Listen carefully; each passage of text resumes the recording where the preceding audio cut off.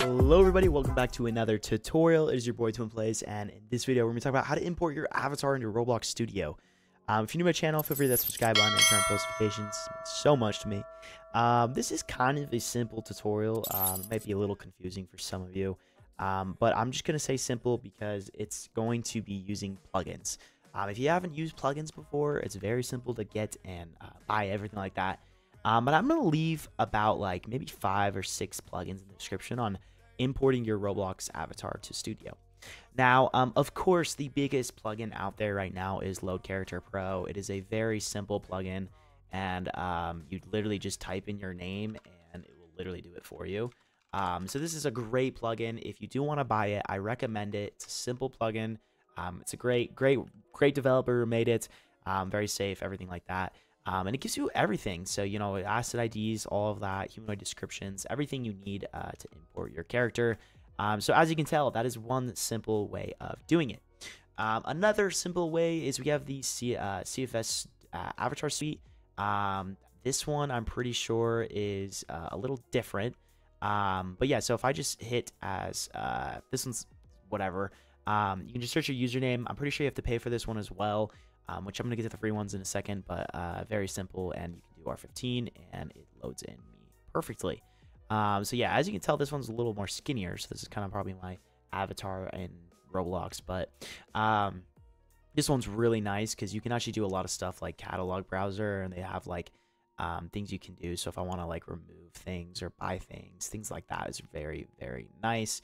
Um, and then of course there's like different preferences with this uh, this plugin. So it's actually really cool. But um, a free one that you can use is this one made by 2D Girls Can't Break Cards. Um, so uh, actually, it's uh, super easy to use as well. I'm to install this just real quick to show you guys.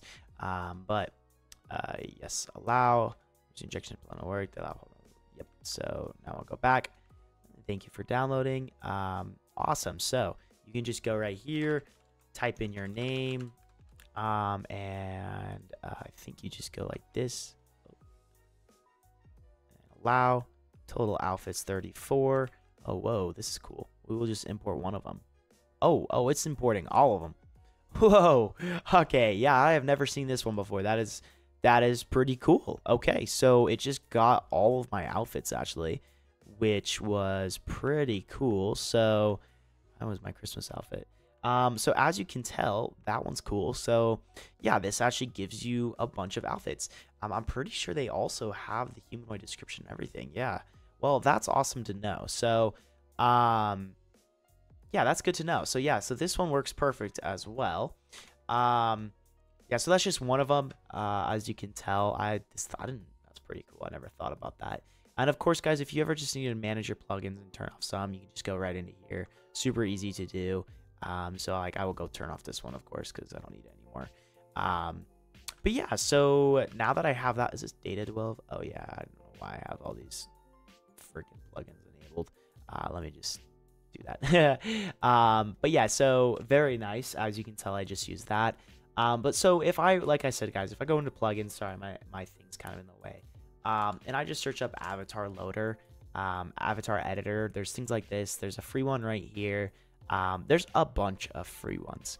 The thing is, you do want to make sure that um, you do want to make sure that uh, you basically can like import it, and it gives you the humanoid description, and it gives you the right asset IDs for that.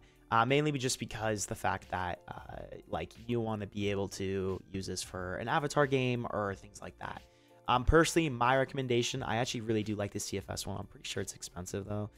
I don't know how much it is. I, I have to see. I don't know why. I, I got it for free, of course, but um, uh, it's it's very nice to use because uh, this one has like avatar editor, things like that. So you can actually just like make avatars like very fast, very easily, um, which is nice. But yeah, so just a little simple tutorial. I just wanted to show you guys uh, some things like that because I think some people are a little confused.